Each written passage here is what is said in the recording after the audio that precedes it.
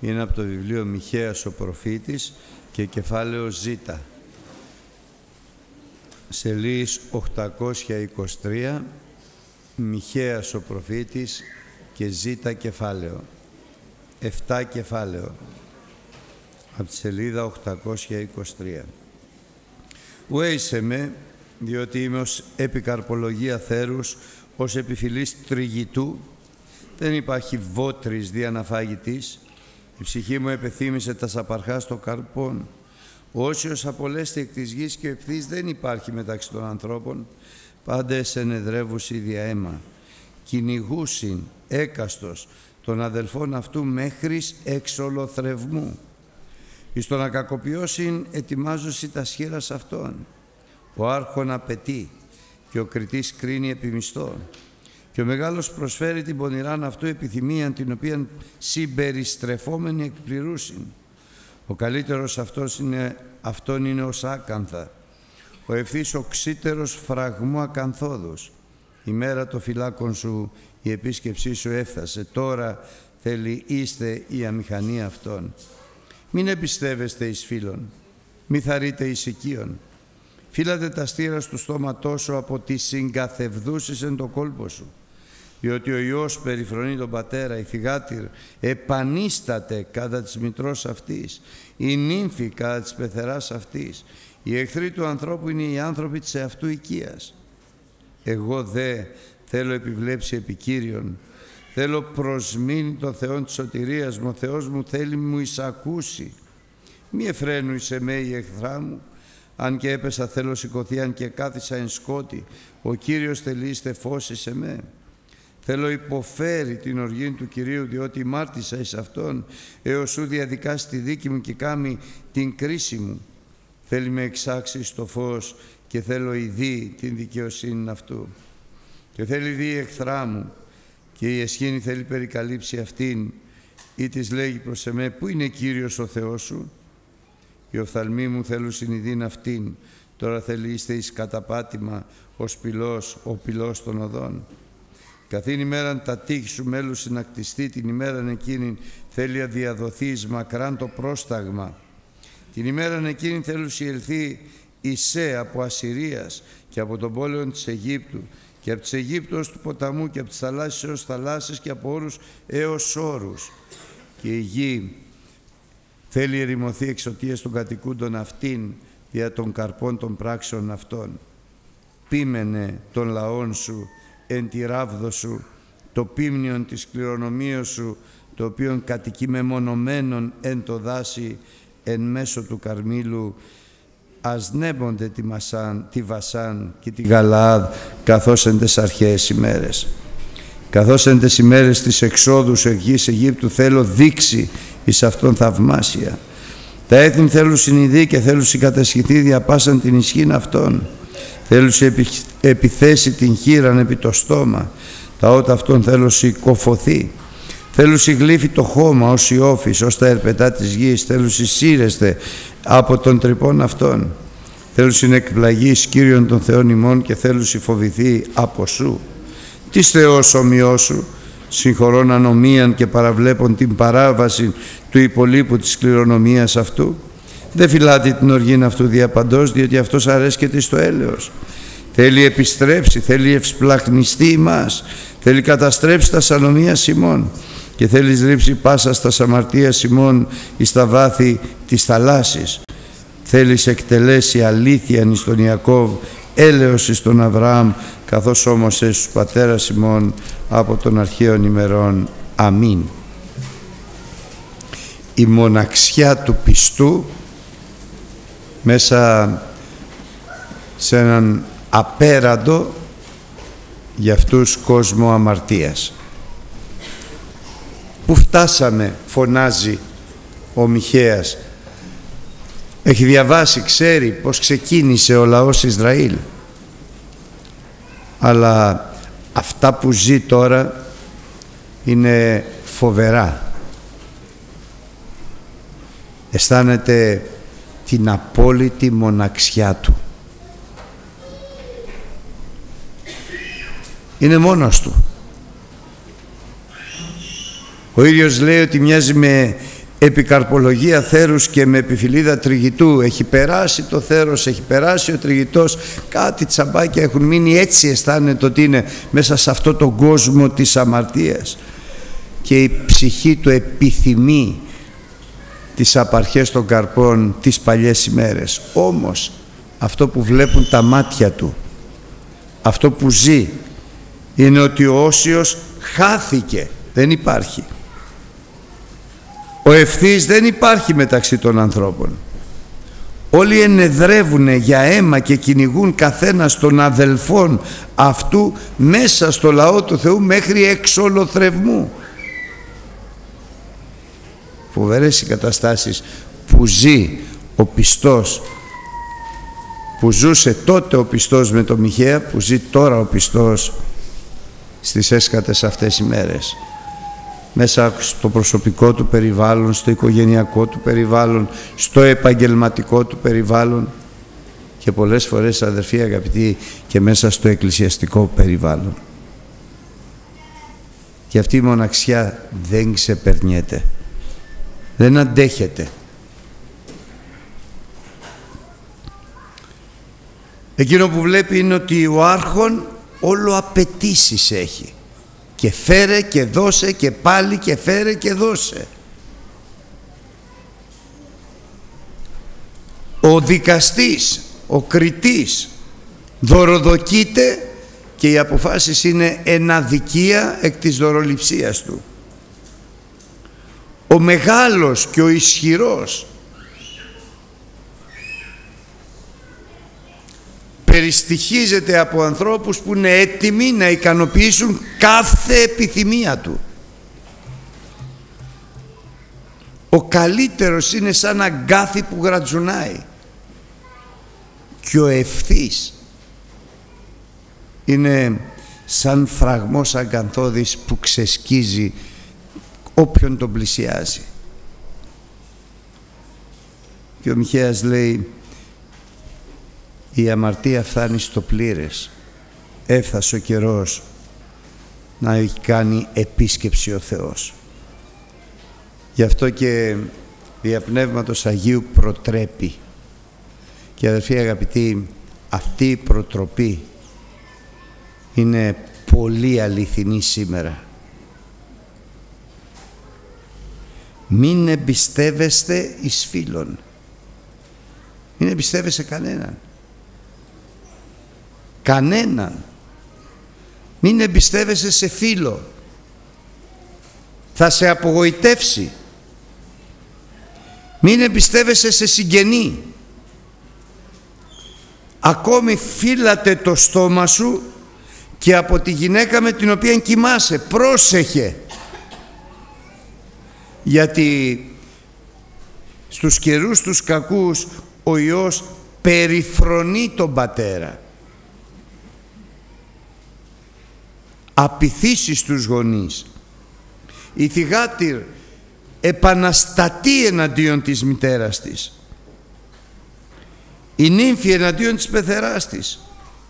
Και ο άνθρωπος που θέλει και ελπίζει στον Κύριο μένει μόνος του ακόμη και μέσα στο ίδιο του το σπίτι. Και δεν του μένει πια τίποτα άλλο. Τίποτα άλλο δεν του μένει από ποιον να περιμένει; Από συγγενείς, από φίλους από αδερφούς από ποιον να περιμένει; Και το μόνο που του μένει είναι ο Κύριος και ευχαριστούμε το Θεό για το Χριστό αδελφοί που ήρθε στη ζωή μας ο Λόγος του Θεού είναι απόλυτα αληθινός και αγγίζει τις πιο ευαίσθητες χορδές της καρδιάς μας μέσα στη ζωή μας. Καταλαβαίνουμε όλοι ότι είναι Λόγος Θεού. Ότι αυτή είναι η αλήθεια. Η μόνη αλήθεια είναι ο Λόγος του Θεού. Αυτή είναι η αλήθεια. Εγώ λοιπόν δεν έχω να κάνω τίποτα άλλο πλέον. Το μόνο που μένει είναι να επιβλέψω εις τον Κύριον και να προσμένω τη σωτηρία μου από το Θεό μου. Και ο Θεός μου είμαι βέβαιος θα μ' ακούσει. Αυτή είναι, αδελφοί αγαπητοί, η θέση του μοναχικού πιστού μέσα σε ένα περιβάλλον επιτρέψτε μου να πω άγριο και βάρβαρο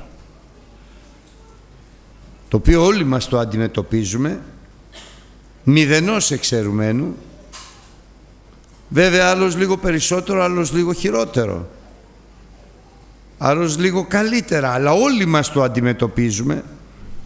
Γιατί; Γιατί η αμαρτία φτάνει στο πλήρες με αποτέλεσμα η αγάπη των πολλών να ψυχραίνεται και όταν χάνεται η αγάπη από τις καρδιές των ανθρώπων χάνεται κάθε έλεγχος ενεργειών, σκέψεων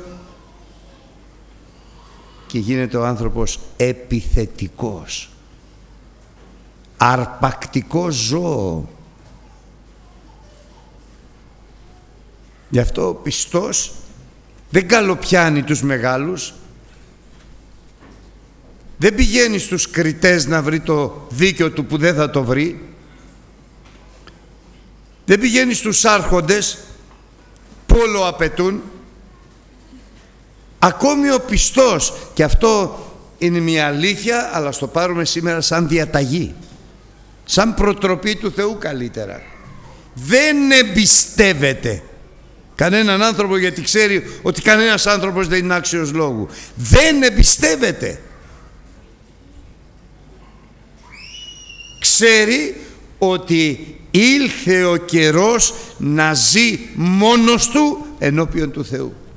Και ο καιρός αυτός θα είναι πιο έντονος. Γιατί ο Θεός θέλει την προσωπική του σχέση μαζί σου καθώς λέει πλησίασες στο Θεό και ο Θεός θα πλησιάσει σε σένα.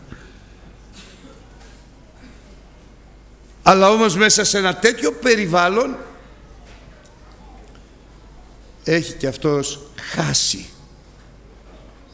τον αγιασμό του, έχει πέσει, εκνευρίζεται, θυμώνει, πικραίνεται, χάνει την πίστη του.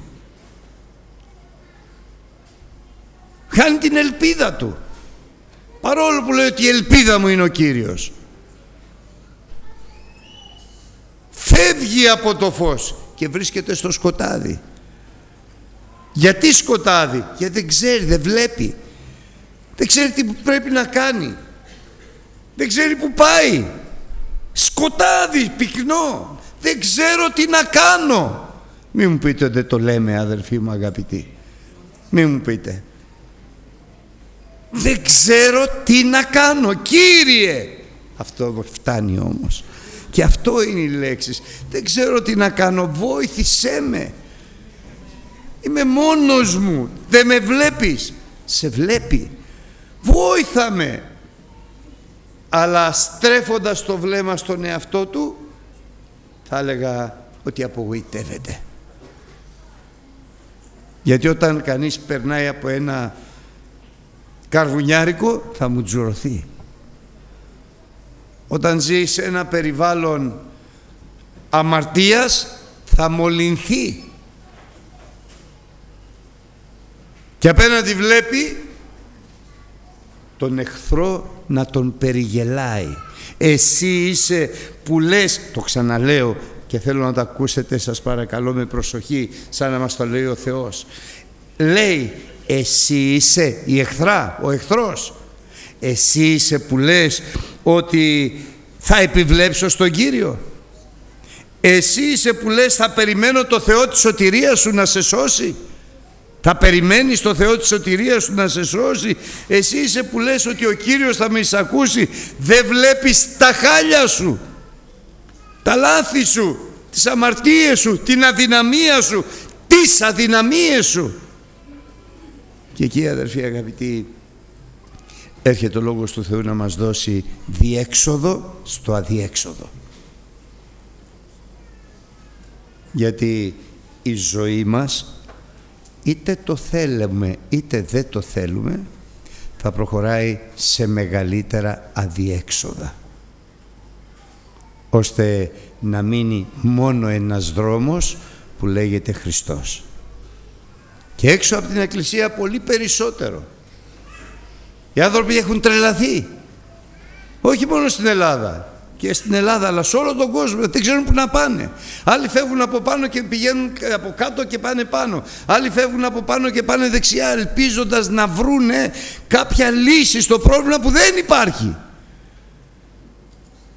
Σκέφτονται, φαντάζονται, ενεργούνε και αποτυγχάνουνε.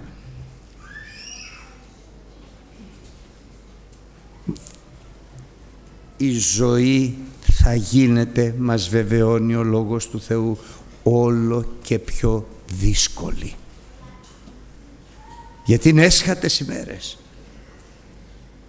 Και θα γίνονται δύσκολοι γιατί η αμαρτία πληθύνεται. Η αμαρτία γίνεται πλέον το φυσιολογικό της ζωής των ανθρώπων έξω. Αλλά και οι χριστιανοί καθώς είναι μέσα στον κόσμο τα χάνουνε. Γι' αυτό ο Κύριος μας πώς προσεύχεται Πατέρα φύλαξέ τους αυτή είναι η προσευχή του Χριστού. Πατέρα φύλαξέ τους γιατί είναι στον κόσμο. Φύλαξέ τους από τον πονηρό δεν μπορούν μόνοι τους φύλαξέ τους για πρώτη φορά κατάλαβα την προσευχή του Χριστού. Μα δεν έχει να προσευχείτε τίποτα άλλο για μένα όχι, στον πατέρα προσεύεται και λέει φύλαξέ τονε. Φρόντισέ τονε, προσπά... μείνε κοντά του, πάρ τον στην αγκαλιά σου. Δεν μπορεί να τα καταφέρει και δεν θα μπορέσει να τα καταφέρει χωρίς εσένα πατέρα λέει ο Χριστός. Φύλαξέ τονε.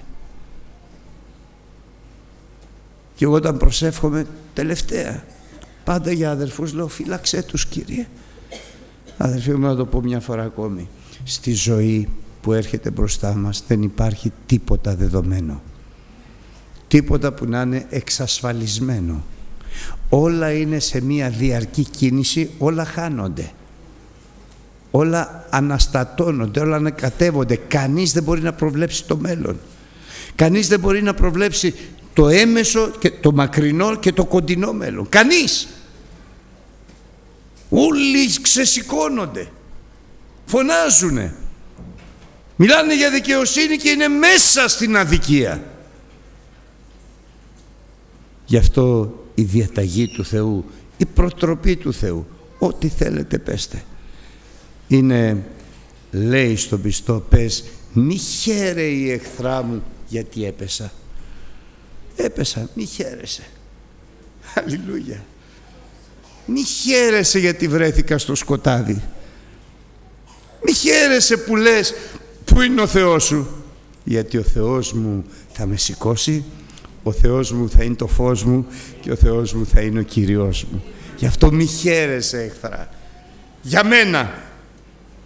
Χαρά μεγάλη έχει ο διάβολος έξω που χάνονται ψυχές. Αλλά δεν μπορεί να έχει καμία χαρά για σένα που ελπίζεις στον Χριστό. Γιατί ο Θεός είναι μαζί σου. Αν ο Θεός είναι μαζί σου, ποιος μπορεί να είναι εναντίον σου; Ποιος μπορεί να κατηγορήσει τα παιδιά του Θεού όταν ο Θεός τους δικαιώνει; Ποιος μπορεί να καταδικάσει τα παιδιά του Θεού όταν ο Χριστός τους υπερασπίζεται ο αποθανόν και Αναστάς που στέκεται στα δεξιά του Πατρός και προσεύχεται υπερασπιζόμενος τον κάθε έναν από μας. Γι' αυτό μη χαίρε η εχθρά μου. Και αν έπεσα θα σηκωθώ. Και αν κάθισα στο σκοτάδι ο Κύριος θα είναι φως μου. Θα υποφέρω θα κάνω υπομονή η δεύτερη προτροπή. Μη χαίρεσαι εγώ θα κάνω υπομονή. Θα κάνω υπομονή για την οργή του Κυρίου στους ανθρώπους, ακόμη και για τα λάθη μου. Και Αυτός θα διαδικάσει τη δίκη μου και θα κάνει την κρίση μου και θα με φέρει στο φως και θα δω τη δικαιοσύνη Του. Αμήν. Αλληλούια. Ο Λόγος του Θεού αδερφοί είναι η μόνη ελπίδα. Είναι το βάλσαμο στη Γαλαάδ. Και ο Ιησούς Χριστός είναι ο γιατρός σωμάτων, ψυχών και πνευμάτων. Όπου κι αν είσαι πληγωμένος, όσο κι αν η μοναξιά ανάμεσα σε τόσους ανθρώπους, συναδέλφους σου, ανάμεσα σε τόσους ανθρώπους, συγγενείς σου, ανάμεσα σε τόσους ανθρώπους, αδελφούς σου. Η μοναξιά γιατρεύεται μόνο με το αίμα του Χριστού και μόνο από τον Ιησού Χριστό. Να το πάρουμε απόφαση μια και καλή. Μην περιμένεις από κανέναν άνθρωπο. Μην ελπίζεις τον άνθρωπο. Δεν μπορεί να κάνει τίποτα. Τα ίδια προβλήματα και χειρότερα περνάει και αυτός. Το ίδιο βάρος λυγίζει τα γόνατά του και σε αυτόν. Μην ελπίζεις σε άνθρωπο. Έλπιζες στον Κύριο και πες στον εχθρό που στέκεται και παραφυλάει να σε καταπιεί. Εάν δεν ήταν ο Θεός τα μαζί μας, ζώντες θα μας είχαν καταπιεί. Αλλά είναι ο Θεός μαζί μας και δεν μπορεί κανείς να μας αγγίξει. Αλληλούια. Και είναι ο Θεός μαζί μας γιατί είμαστε μαζί με το Θεό. Γιατί θέλουμε, γιατί ελπίζουμε, γιατί προσευχόμεθα, επικαλούμεθα. Δεν έχουμε άλλη ελπίδα.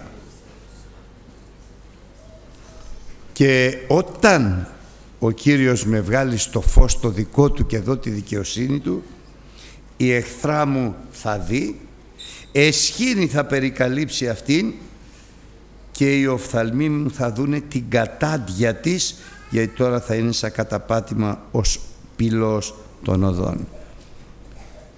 Δηλαδή, ο Θεός κάνει ανατροπές. Κάνει το μαύρο άσπρο μετατρέπει την κατάρα σε ευλογία μετατρέπει το κακό σε καλό το πιστεύεις τούτο; Ο Χριστός είναι αυτός που έχει στα χέρια του πάσαν εξουσία και στον ουρανό και στη γη.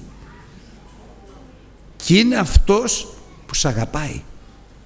Και ο Θεός τι λέει; Κάτι που μα το ξαναδιάβασα και μ' άρεσε τόσο πολύ. Επειδή ο Θεός τον ίδιον γιο του δεν τον λυπήθηκε αλλά τον παρέδοκε υπερπάντων ημών να γίνει κατάρα επάνω στο σταυρό του Γολγοθά δεν θα χαρίσει σε μας τα πάντα αυτό είναι το μήνυμα του ουρανού αφού ο Θεός δεν λυπήθηκε το γιο του το μονογενή τον έστειλε Μάσεψε όλες τις αμαρτίες των ανθρώπων, έγινε κατάρα πάνω στο σταυρό του Γολγοθά και ο πατέρας απέστρεψε το βλέμμα του. Δεν θα σου χαρίσει εσένα τα πάντα. Όχι τα πάντα που εσύ θέλεις, τα πάντα που αυτός είναι έτοιμος να σου δώσει. Δεν θέλει να του ζητάς για να σου δίνει, θέλει να τον ρωτάς για να σου ανταποκρίνεται.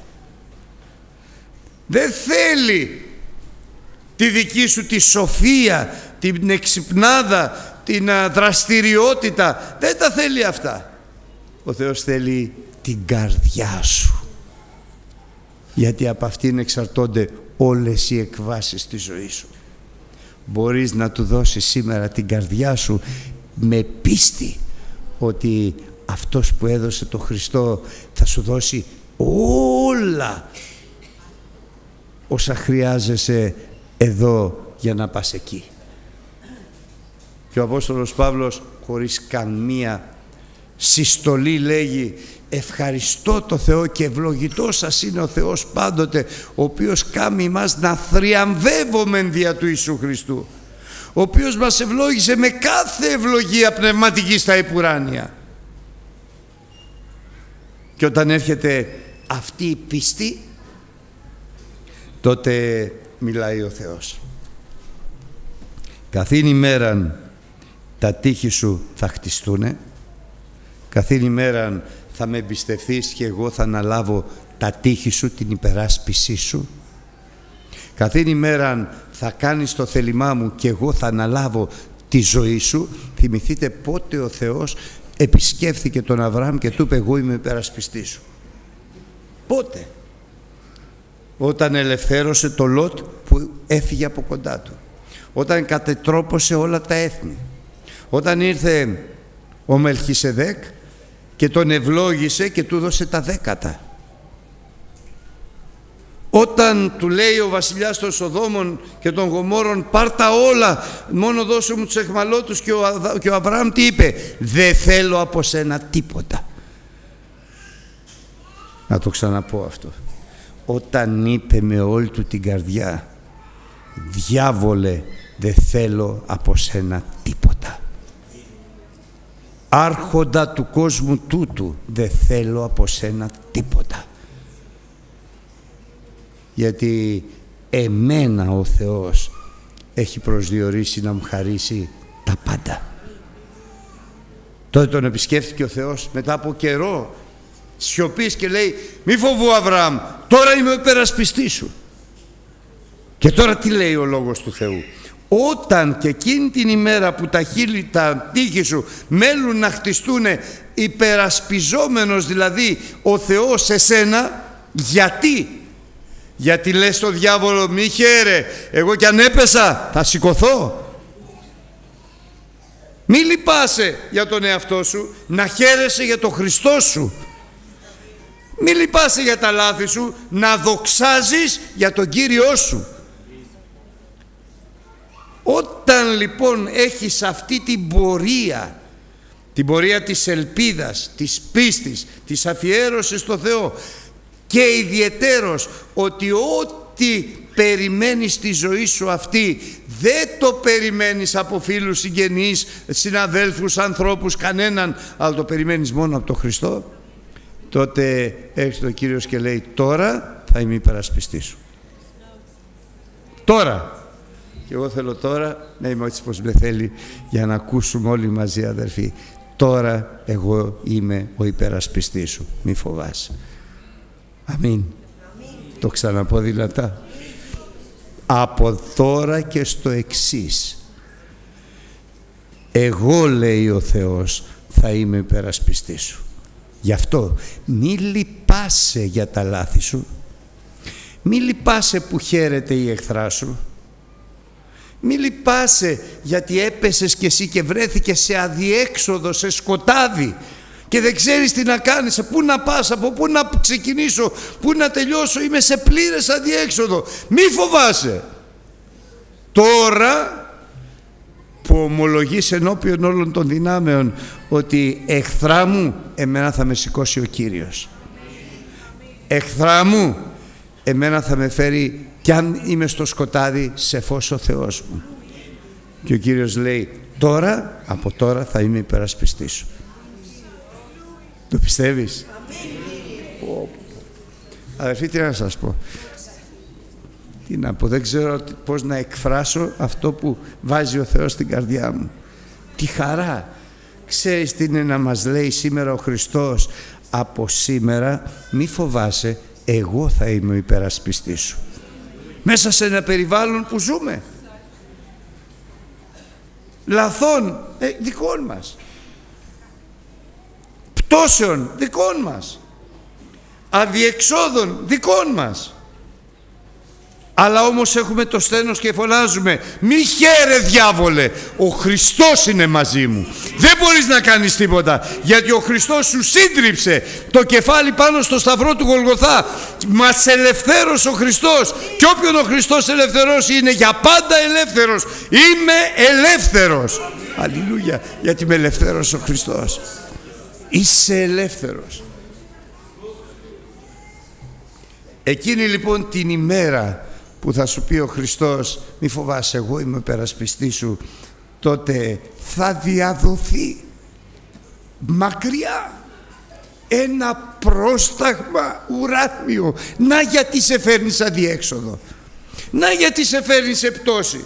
Επιτρέπει. Γιατί πρέπει να εκδοθεί πρόσταγμα ουράνιο. Και για να εκδοθεί πρόσταγμα ουράνιο πρέπει να υπάρχουν τύχοι στη ζωή σου στην εκκλησία του.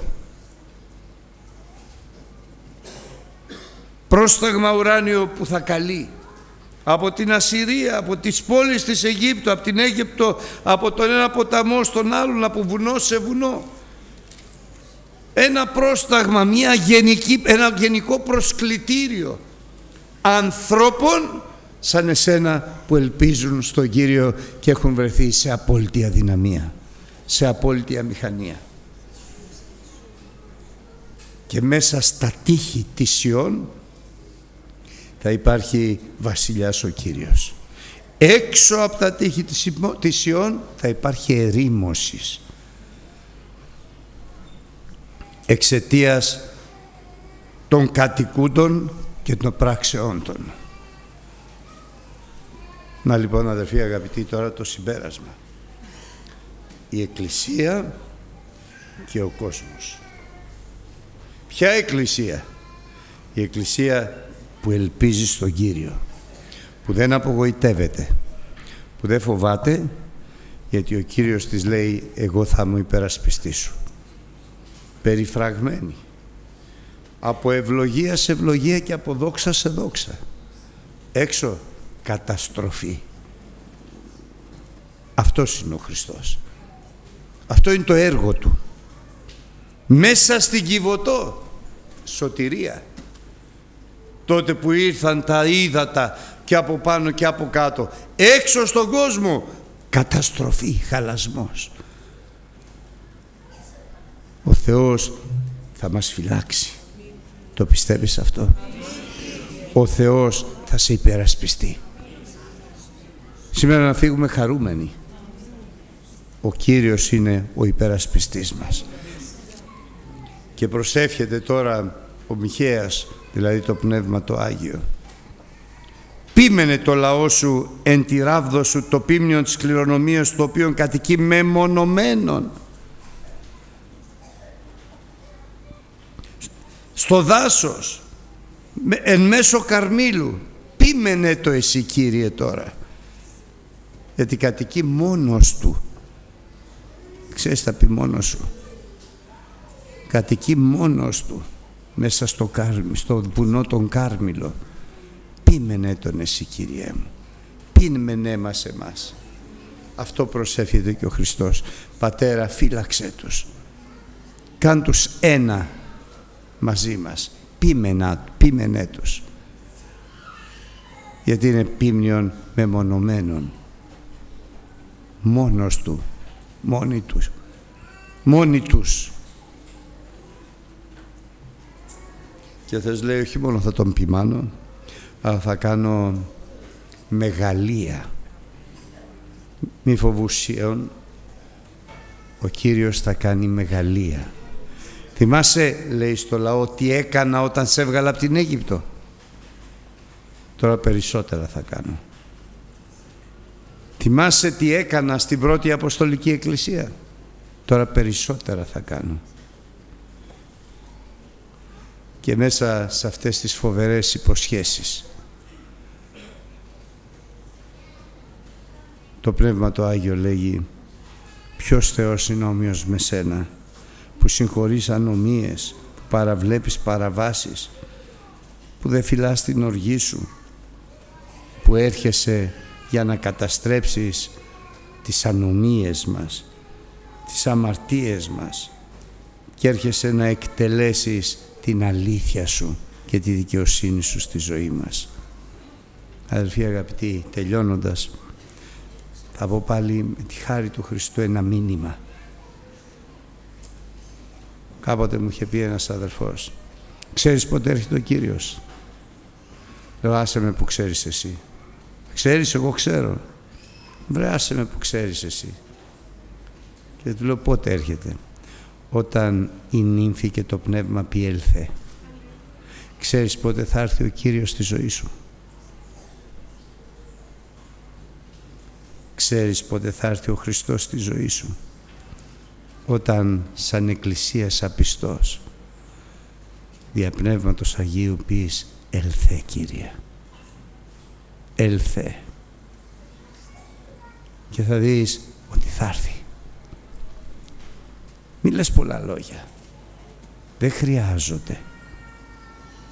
Πες μόνο με πίστη στην προσευχή σου. Εγώ άλλαξα προσευχή από σήμερα το, το, το πρωί. Από εδώ και πέρα θα λέω «Ελθέ Κύριε». Μόνο «Ελθέ Κύριε». Μόνο «Ελθέ Κύριε». Γιατί μόνο αν έλθει ο Κύριος θα αλλάξει τα πάντα. Δεν μπορώ να του πω κάνε αυτό, κάνε εκείνο. Τι να πρώτο κάνει, τι να κάνει και εγώ θα του δείξω. Έλα Κύριε και κάνε κατά το θέλημά σου. Έλα Χριστέ μου, έλα, έλα. Και η απάντηση του Κύριου είναι «Ιδού, εγώ είμαι με θυμών, πάσα στα ημέρας, έως συντελείας του αιώνος. Αμήν.